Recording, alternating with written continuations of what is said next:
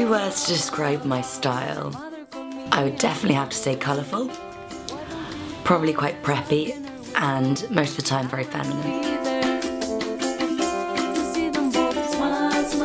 Deciding my looks for Fashion Week is a part of it that I really, really enjoy because I love getting dressed up and I love choosing clothes, otherwise I wouldn't be doing what I'm doing.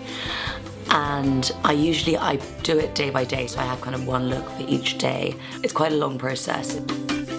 My favourite brands, there are so many that I really love.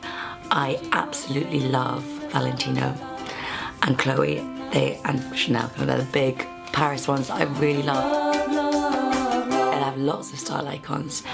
I think Caroline Issa always looks absolutely immaculate and I think everyone else in the world thinks that too.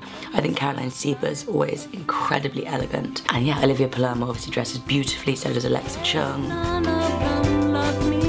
Love shopping. It is one of my favourite things to do when I'm not working. In London, I love shopping at Matches, online or in store. Net-a-Porter is obviously amazing. In Paris, I love to go to Bon Marché and Galeries Lafayette. The perfect fashion week look.